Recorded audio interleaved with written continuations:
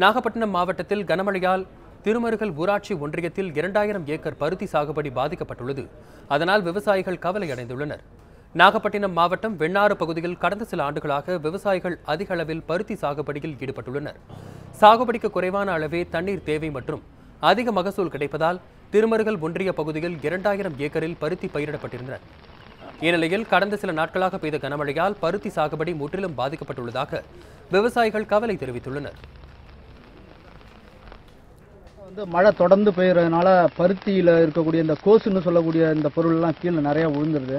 விழுந்ததுனால காயாகக்கூடிய தருணத்தில் இது போல் இருக்கிறதுனால எங்களுக்கு பருத்தியில் ஏகப்பட்ட நஷ்டம் ஏற்படும் போல இருக்கு.